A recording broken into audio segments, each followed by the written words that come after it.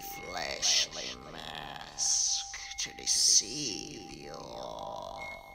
A great evil mind waiting for its call. What do humans hide evil behind? What is most precious to their kind? Skin, the greatest mask of all. So be aware who to trust before you